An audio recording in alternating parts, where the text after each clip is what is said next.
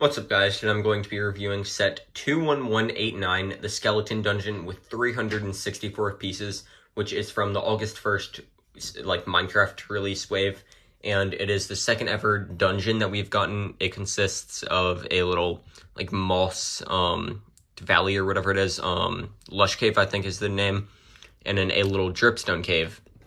On the top of the box, you can see the minifigures, you get two skeletons, a skeleton with a diamond, or not diamond, enchanted hat, and then a cave explorer. You can see the actual size of the minifigure, and then if I flip to the back, you can see the play features such as being able to spin the skeleton inside, and having dripstone fall down on the skeletons, and being able to have a skeleton spawn by like moving the wall. You can also see a little like chest.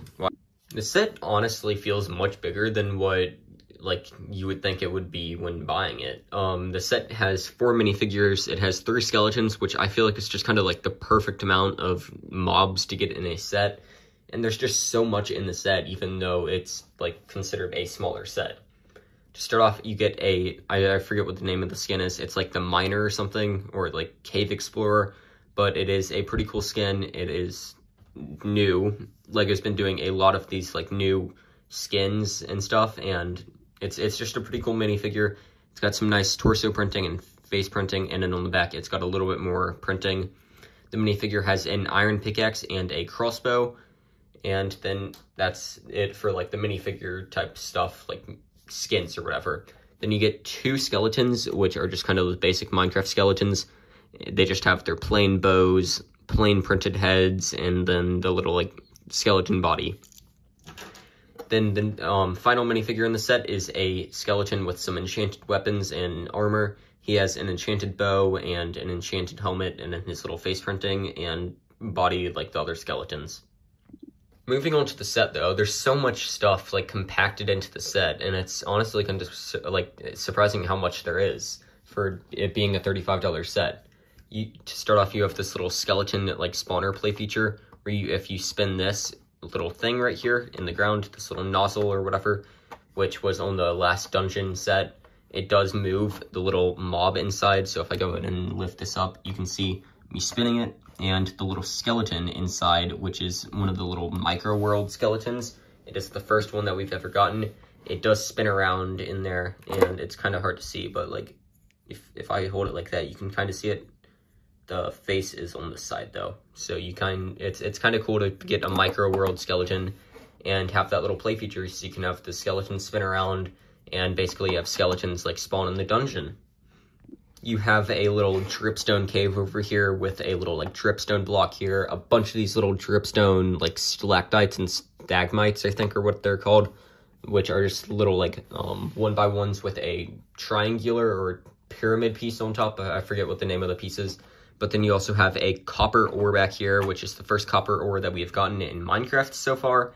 It's just a few like dark nougat studs and um like I, I forget what the name is. It's like teal studs. And they're just kind of stacked like a normal Minecraft ore. And it creates a little copper ore, which is nice to get. There's a little play feature in the dripstone biome, which is included in a lot of Minecraft sets. So if you pull this little like block back right here, and it will drop these like st like stalagmite blocks or whatever.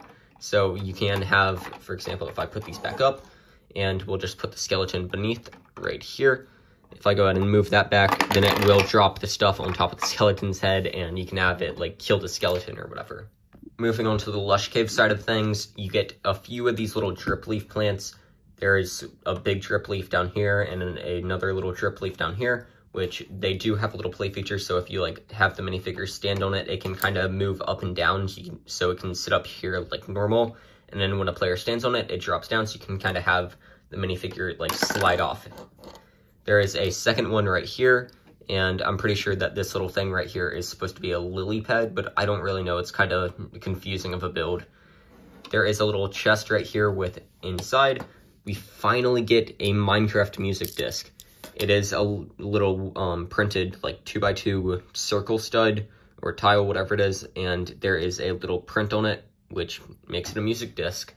It is nice to finally get one, and then the other stuff in the chest is a piece of bread and a bone, it is one of the newer chests from this wave, and then it just goes right there on those two jumper plates.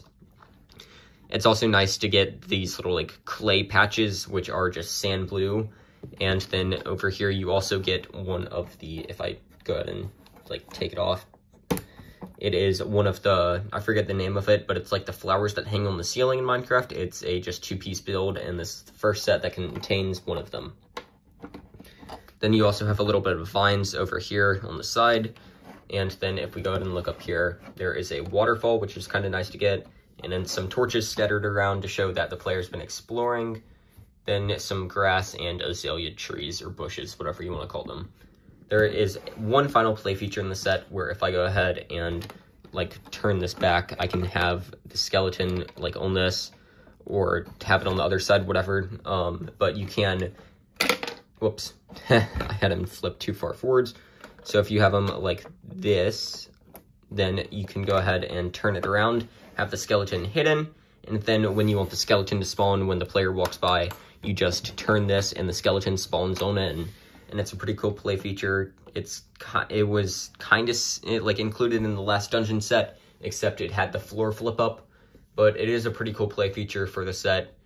That is going to be all for today, guys. Thanks for watching and have a good day.